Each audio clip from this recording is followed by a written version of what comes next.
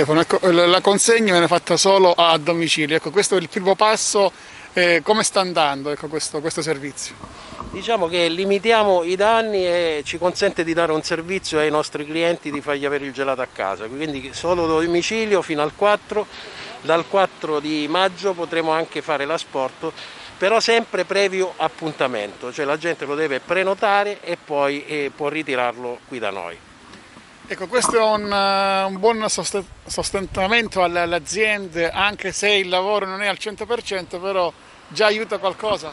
È un primo passo, purtroppo però abbiamo delle prescrizioni sanitarie, degli adempimenti che ancora non sono ben chiari perché le linee guida non sono state diffuse dalle autorità competenti, quindi dobbiamo capire cosa fare per rispettare i principi, i protocolli del coronavirus. Qualcosa già eh, ci hanno detto, ma va fatta una sanificazione, vanno mantenute le distanze e ci deve essere fatta chiarezza in questo senso perché altrimenti rischiamo di avere problemi già all'apertura al pubblico. Ecco, con la sua clientela, eh, co com'è il cambiamento? Ecco, si stanno adeguando eh, il, la, la, la, clientela? Ecco.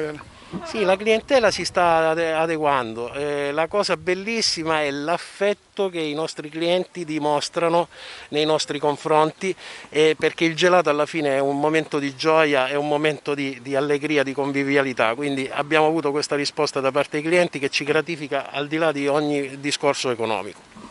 Ecco, è, eh, lei è positivo, ne usciremo fuori?